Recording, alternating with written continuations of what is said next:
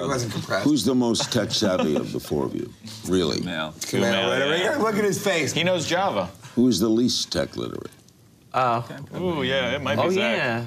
He still has a flip phone. Who's most like his character? Who's the most well cast?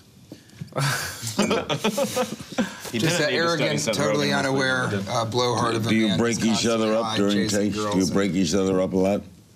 Yeah, Yeah, we laugh a lot on set. It's, that's one of the fun things is that we, all of us, had been friends even before we started shooting the show.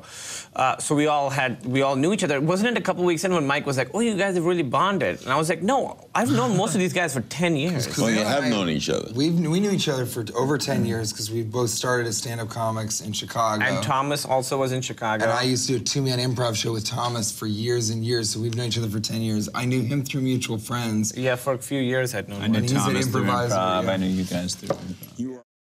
Watch new episodes of Larry King Now, Monday through Thursday, on demand on Hulu and Ora.tv.